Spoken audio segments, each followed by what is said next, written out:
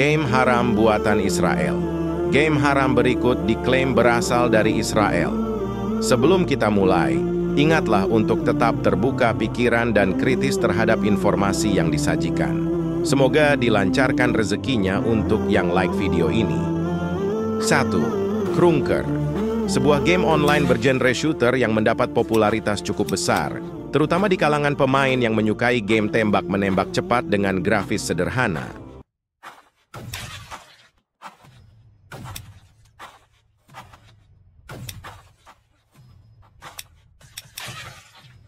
Dua, Shadow Fight versi 3. Dikembangkan oleh perusahaan game Israel bernama Neki, game ini adalah game pertarungan yang memadukan elemen-elemen RPG.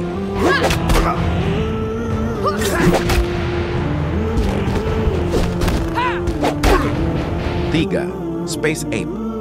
Dikembangkan oleh Space Ape Games, perusahaan ini memiliki beberapa judul game populer, termasuk Samurai Siege dan Rival Kingdoms. Meskipun bukan berasal langsung dari Israel, Space AP memiliki kantor di London.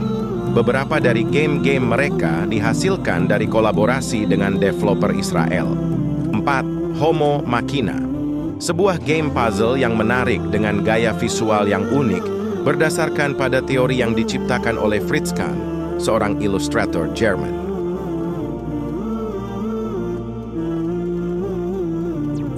5. Plarium Games Perusahaan game ini, meskipun bukan seluruhnya asal Israel, memiliki kantor di berbagai negara. Mereka berbasis di Herzliya, Israel, dan terkenal karena game-game online bergenre strategi seperti Vikings War of Clans dan Throne Kingdom at War. 6. Iceberg Interactive Iceberg Interactive meskipun tidak sepenuhnya dari Israel, perusahaan ini berbasis di Belanda. Mereka juga telah bekerja sama dengan beberapa developer Israel dalam menciptakan game-game mereka.